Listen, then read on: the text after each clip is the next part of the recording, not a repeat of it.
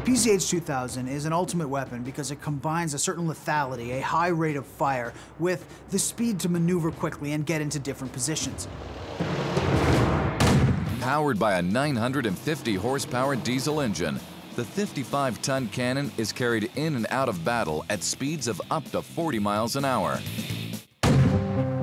The automated loading mechanism means a small, well-trained crew can load the full complement of 60 shells in just 10 minutes. Instead of, say, a traditionally sized gun crew, which if you were doing sustained fire, you'd be looking at 8 to 10 men, you can get away with as few as three. A single button push transports the round from magazine to loading bay and into the barrel.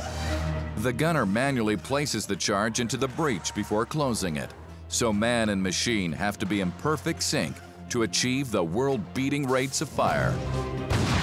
Whereas a lot of uh, self-propelled artillery systems would be promising perhaps on uh, rapid fire rate four five rounds a minute, you are getting up to six to eight on very fast fire rates.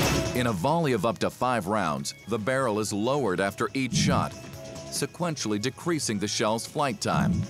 It's a way that you can vary the trajectory of four different 155 artillery shells so that four rounds land on the same target at the same time.